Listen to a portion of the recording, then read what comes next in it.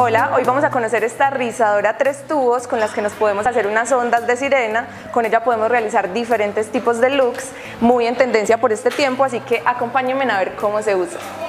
Lo primero que vamos a hacer para utilizar la rizadora de tres tubos va a ser conseguir una pinza porque vamos a seccionar el cabello para dividirlo por partes. Muy importante utilizar el termoprotector de su preferencia para que cuidemos el cabello.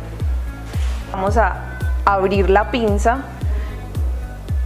y por tramo lo vamos a dejar entre 10 y 15 segundos. Luego vamos a utilizarlo más abajo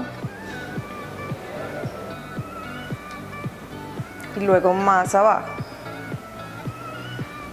Vamos a hacer esto con todo el cabello y ya les voy a mostrar el resultado. Y este es el resultado que tenemos con esta magnífica pinza tres tubos, es rizadora, te deja unas ondas de sirena, mira.